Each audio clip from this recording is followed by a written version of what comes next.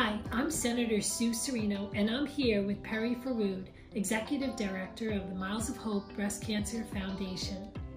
I really wanted to sit down with Pari today to ensure that residents here in our community who are impacted by this diagnosis know that they have places to turn for help. No one should have to go through a breast cancer diagnosis alone, and having a supportive network can make a tremendous difference. Miles of Hope does so much for so many here in our community, but most importantly, they help remind us of all the importance of coming together in the face of adversity. There is healing and hope, and Pari is here to tell us about all of the key resources they have here in the Hudson Valley.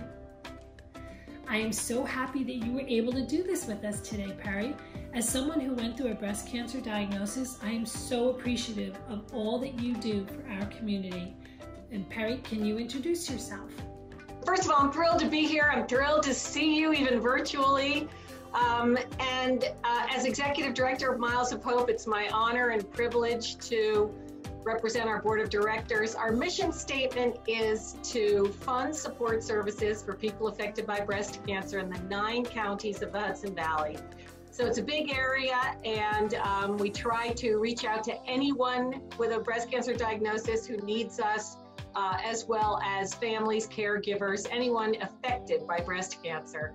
Um, the, the program that um, we spend the most on, we spend the most money on, is called our Medical Gap Care Program. And that is literally helping people in treatment for breast cancer with their bills. So often a cancer diagnosis comes with extra cost, extra uh, bills and finances. And um, what we want to do is step in and take that financial stress off the breast cancer patient and allow them to recover uh, with less, as I say, stress on them. Um, anything from a cell phone bill, obviously medication, um, any uh, sort of medical bills that aren't not covered by insurance. Um, we pay for back to school clothing for children, summer camp, um, mortgage, rent is a big one, transportation to and from treatment. Um, this is a very big part of what Miles of Hope does. We also fund other programs um, all over the, the nine counties at hospitals and, and uh, other not-for-profits. Um, one big program is a peer, our peer-to-peer hotline. If someone is newly diagnosed, they have questions, they're welcome to call um, our peer-to-peer hotline. Um, that phone number is 1-800-532-4290. Um, and uh, it's right on our website at milesofhope.org. But this phone number is manned by trained breast cancer survivors. So they've been through it, they know what's going on, and they're ready to answer your questions. Not to second guess any medical opinion you've received, but just to let you know what you might be expecting in your treatment going forward, that kind of thing. We also have a scholarship program for high school seniors whose lives have been affected by breast cancer. Um, we uh, reach out to guidance counselors at high schools in the nine counties and you know tell them anyone whose life has been affected by breast cancer we'd love to hear from them and and they fill out a very short application and then write an essay and, and uh, they're usually wonderful and heartwarming. And uh, we like to say that no one with breast cancer in the nine counties has you know is without help. We like to say we're always here to help. So i hope uh, i hope that message is out there. Yeah, and I know it is. Pari, you guys do an amazing job. It's so nice too with the phone service. Sometimes just hearing that friendly voice that also went through this, I know for myself, talking to other women who also had a diagnosis, even if it's 10 years later, it just gives you hope and it's so good for your soul. How did you get involved with the Miles of Hope? I have a master's in public administration with a concentration in not-for-profit management. And so it's really my field, not for profit management. And I was on the board of the community foundations of the Hudson Valley, sitting next to Ira Efron. And he said to me, You know, my, my wife Dana thinks um, she might want to start some sort of foundation. And I said, Really? She should talk to me. And she did, and that was 16 years ago. and Dana, Dana got together with Kathy Varanok, who's um, family has a, a, long history of breast cancer. Her mother, her sister, actually, young sister, died from it. And uh, they got together and said, we should start this foundation. And I thought, you know what? I want to get involved in something from a really, from the beginning, from the start, so we can really mold it into what we wanted to do. And, you know, quite honestly, Dana, as a survivor, um, people would call her at all times of the day or the night and say, oh my gosh, I was just diagnosed. What do I do? So we saw the need for information. We saw the need for assistance, and that's why we, we wanted to step in. That's great. Three very strong, powerful women coming together. It's awesome. Who's eligible to receive support services from Miles of Hope? Anyone anyone affected by breast cancer in the nine counties of the Hudson Valley? I get this question a lot from, we work with the social service agencies, obviously, to uh, identify people who might need our help. And they, they sometimes say to me that this person is visiting from, um, you know, um, that they're undocumented, quite honestly, and uh, that kind of thing. And we don't care. If you're in treatment for breast cancer, we want to help you. We're, we're yeah. So, um, and then as I say, not only the patient, but we have programs for caregivers. We have programs for the high school seniors um, whose lives have been affected by breast cancer. Um, and uh, we just, there's really, you know, when you have breast cancer, who cares about anything else but getting better? Like you said, your organization has helped so many here in our community. What is your advice to anyone dealing with the breast cancer diagnosis? We had, I think it used to be um, 20 years ago that you had to go out of area to get good care. But now we have really good care in our area. Uh, the hospitals in, and the, the oncologists, the radiologists, all of them are great in our area. So if you have a, um, a breast cancer diagnosis, I would say you're fine getting treated right in the Hudson Valley. Um, obviously, if you need any kind of assistance, New York State has a great cancer services program for people who don't have insurance. Um, but if you have maybe a little bit or, or you need assistance with your, as I say, your rent or your mortgage or your cell phone bill or your, you know, gas, food, electricity, anything, Miles of Hope is here to help you. And as I say, we don't we don't really care.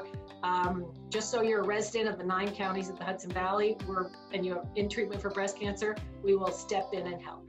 And I have to tell you, you know, I don't know about other states, um, but New York is terrific. Our Dutchess County Health Department, terrific. The other health county uh, health departments in the other counties are really wonderful in terms of of cancer support and the research out there. Uh, we have, you know, a plan in Dutchess County. One of the um, the long-term plans has been set up to help um, people not only with cancer, but to help sort of in a promotion to talk about prevention and and uh, that's a big thing right now is to talk about how to prevent cancer from happening in the first place and uh, you know by adopting a healthy lifestyle that kind of thing and and getting that message out. And um, but New York State is great with with their support.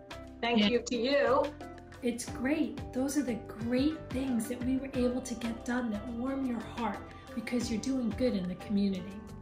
Miles of Hope works hard to promote early detection and overall women's health, and you really emphasize the importance of reducing stress and anxiety. Can you speak more about that? So, every study that was done, every study uh, shows that anxiety, stress leads to high blood pressure, leads to um, an inability for the body to uh, recover as quickly as it might. Um, so we want to address that in a couple of ways. And we've had programs. We have a current program now at both Vassar Brothers Medical Center and Putnam uh, Medical Center um, to uh, for it's called a massage therapy program. And the um, idea is that before your surgery, you are entitled, you can have a free massage on Miles of Hope. And um, what this does is it absolutely calms the patient, they've found, reduces stress, blood pressure comes down, um, and uh, not only is the person better able to tolerate the surgery, but they also, it's been shown, have a better recovery and a faster recovery from the surgery. And, you know, anyone's entitled to a massage anytime after that, as long as they're in treatment for breast cancer, anytime after that at those two hospitals. And as I say, courtesy of Miles of Hope, it's a program that we set up once it was determined by them at those hospitals as well as nationally that this was really a game changer. Um, it sounds like such a simple thing to do. Oh my gosh, give someone a massage. But it really, really makes a difference. And um, the other aspect of that is by reducing that financial stress mm-hmm. on someone, by stepping in and paying their bills, um, we also allow that person to have a better recovery and uh, and to you know tolerate their radiation, chemo, whatever they're going through better as well. What's the best way for people to find out about the important work that you do?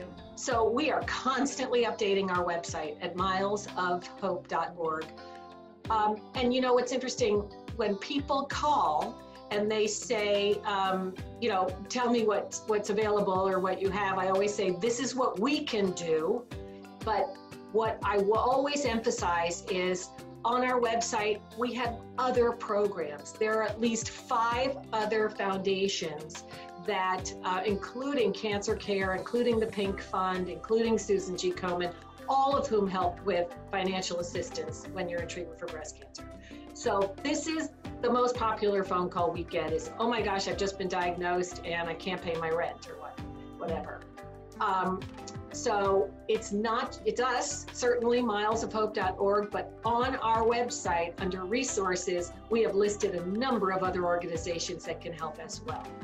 Um, so I urge anyone to go to our website. It's a wealth of information. Also, uh, it has all the, the downloaded uh, information you can download on the Cancer Services Program in New York State, uh, Medicare and Medicaid, where to get a free mammogram, um, which you're entitled to, everyone's entitled to, but they're only at specific places, um, that kind of thing. So, all on our website, milesofhope.org. And if you click contact right from our website, it comes right to me. So, you know, I'll get an email and I'm happy to answer it immediately. So, they can always do that as well. Is there any other information you would like the public to know today? I would like them to know how brave and wonderful you are and how we are all hoping and praying and wishing that you get done with all your treatment very quickly and and uh, and feel great real soon. Thank you, Pari, and thank you for always being such a great friend and for taking the time to sit down with us and for all that you do for men and women here in our community and beyond.